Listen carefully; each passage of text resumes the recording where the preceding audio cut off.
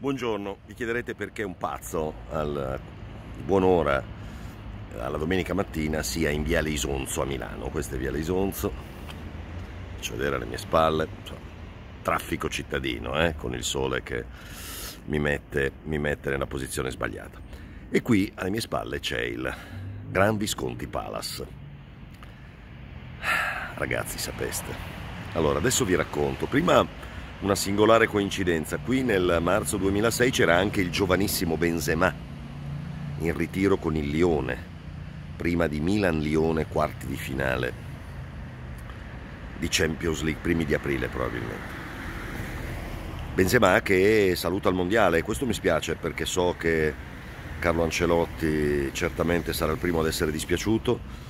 Benzema è un grandissimo campione in campo e fuori, come atteggiamento e come colpi e, quindi le giocherà tutte Giroud ragazzi. Eh, però siamo, dobbiamo essere contenti per Olivier e dare forza a Olivier. Giocare a pallone non può essere diventato un problema e certamente Olivier si farà trovare pronto per nuove responsabilità che sono quelle che lo tengono vivo, che lo tengono giovane. Lasciatemi ricordare intanto OneFootball, OneFootball con la sua app, OneFootball con tutti i suoi contenuti OneFootball è a vostra disposizione perché l'app di OneFootball viene usata da 3 milioni di sportivi in Italia, cioè l'app che vi consiglio ogni giorno, non è che cioè, 3 milioni. Quindi scaricatela, è gratuita, l'app di OneFootball è a vostra disposizione, giro sempre per trovare la luce giusta, eh, l'app di OneFootball è a vostra disposizione, nella descrizione di questo video c'è il link, scaricatela grande copertura anche dei mondiali, tanti highlights, tanto calcio, partite singole di Serie B, di Serie C, le potete acquistare, sono le uniche cose che costano, ma senza dovervi abbonare, basta prendere la singola partita. Scaricate l'app di OneFootball, l'app di OneFootball vi aspetta. Sarò mica venuto fin qui per parlarvi di Benzema. No, eh, la copertina è ai miei luoghi più cari. Allora dovete sapere che Viale Isonzo è una eh, traversa che va diciamo da siamo tra Porta Ludovica e Piazzale Lodi a Milano, più o meno.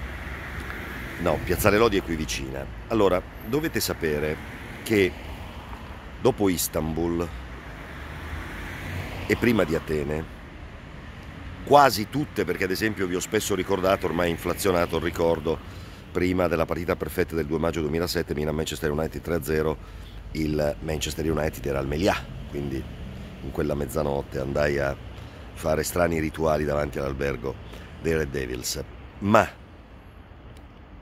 quasi tutte le avversarie del Milan in Champions League in quegli anni, 2005, 2006, 2007, venivano qua. E il cui presente, tutte le mattine di una partita di Champions League, cioè quando si giocava la sera, cioè il giorno stesso della partita, con la mia bella macchinetta io passavo dalla carreggiata diciamo che va verso nord di Viale Isonzo, guardavo il Visconti Palace, andavo in Piazzale Lodi, facevo la rotatoria e tornavo davanti al Visconti Palace a parlare con l'albergo,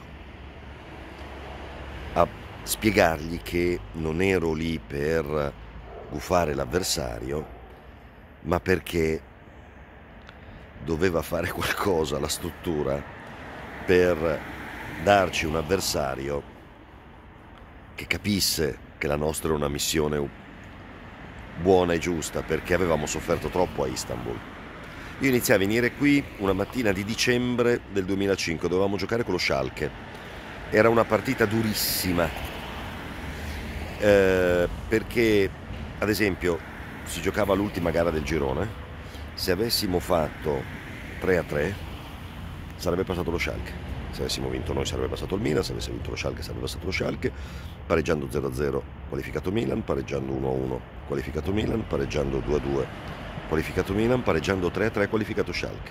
E vincemmo 3 a 2 quindi capite che la preghierina dove si trovava lo Schalke 04 un qualche eh, un qualche risultato, un qualche beneficio l'ha eh, ottenuto. E ehm, poi mi ritrovai qui due volte per il Bayern, perché noi in quegli anni, da Istanbul ad Atene, ci ritrovammo a giocare con il Bayern due volte, negli ottavi di finale della Champions 2005-2006 e, come ben sapete, nei quarti di finale della Champions 2006-2007. Io venivo qui in particolare, ma non solo, per la parità di ritorno, ma con uno spirito particolare per la parità di ritorno, perché la parità di ritorno decideva e col Bayern la parità di ritorno era negli ottavi della Champions League 2005-2006.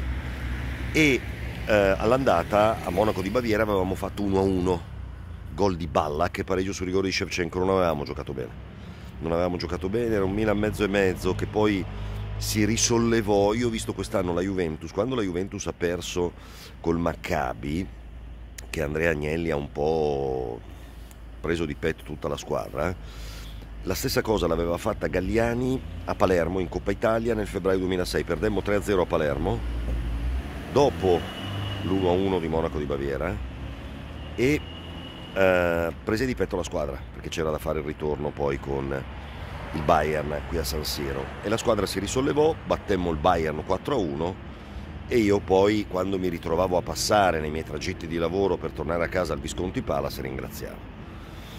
Ero stato qui per il Lione, la mattina di Milan-Lione, all'andata avevamo fatto 0-0, insomma io continuo a chiamarla la Gerland eh, al ritorno poi vincemmo 3-1 parità durissima. Benzema era un giovane, era un ragazzo eh, all'epoca, era il Lione di Giunigno, di Fred, di Maludà, insomma di giocatori molto molto importanti e, mm, e io venni qui la mattina di Milan-Lione a fare la solita preghiera, il solito auspicio, dovete capire quanto abbiamo sofferto, eccetera, eccetera, eccetera.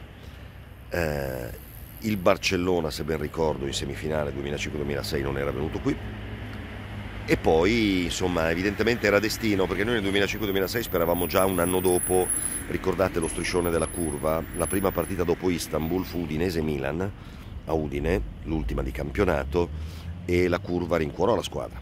Forza ragazzi, poi ci rivedremo a, a Parigi. Eh, a Parigi però c'era Barcellona-Arsenal, non c'era Liverpool. Evidentemente qualcuno lassù aveva deciso di ascoltare qualche preghiera o si era accorto di quanto avesse sofferto il Milan per cui aveva deciso che il Milan poteva prendersi la rivincita contro il Liverpool, non contro il Barcellona o contro l'Arsenal. E allora rieccoci qui, contro il Celtic 0-0 all'andata a cui feci un preghierone.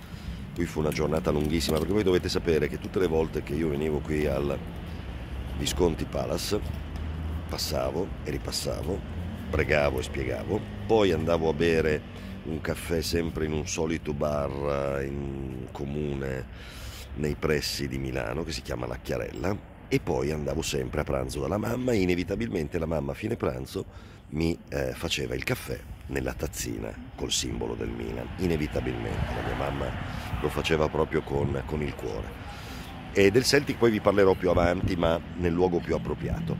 Eh, poi Celtic, evidentemente poi il Bayern Monaco che era tornato qui eh, anche per i quarti di finale e insomma molte volte venni qui per i tedeschi ecco davanti a questo albergone che ospitava i nostri avversari di Champions League che da Istanbul ci hanno traghettato sulle ali della vita ad Atene eh, insomma io questo albergo si chiama Gran Visconti Palace ma nella mia testa è da Istanbul ad Atene per tutte le, le vigilie pregate qui eh? Ragazzi portate pazienza, eh, sono, su, sul mio canale i miei racconti che vi, che vi, dovete beccare, mi spiace.